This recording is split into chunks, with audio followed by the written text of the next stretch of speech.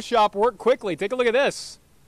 You got your own Jay Cutler jersey ready to roll, and they actually screen printed them themselves. These are a little different than the other jerseys. They look the exact same, but they had to get them ready for Jay Cutler's first day. And I'll tell you what, Cutler may have made some new fans today. He was on point. He was as advertised. That arm strength, just as it has been throughout his entire NFL career. He came out here, he had a lot of zip on the football, and he says it's going to take a little while to get back to where he used to be. But for day one, no problem.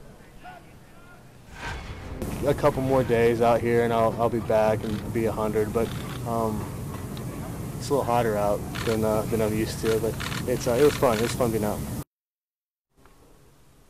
Yeah, and he'll have to get used to that heat out here. And guys, uh, just in case you're wondering, if you want one of these beauties, Yes. it only cost you 110 bucks. Oh, No. well, thank you, but no thanks. Well, jerseys are expensive. but, but if you're buying clay, go ahead and bring a couple of back for us. You know? sure, sure. Yeah, the uh, I'll put, I'll put them on your tab, Calvin. Oh, see, there you go. Okay.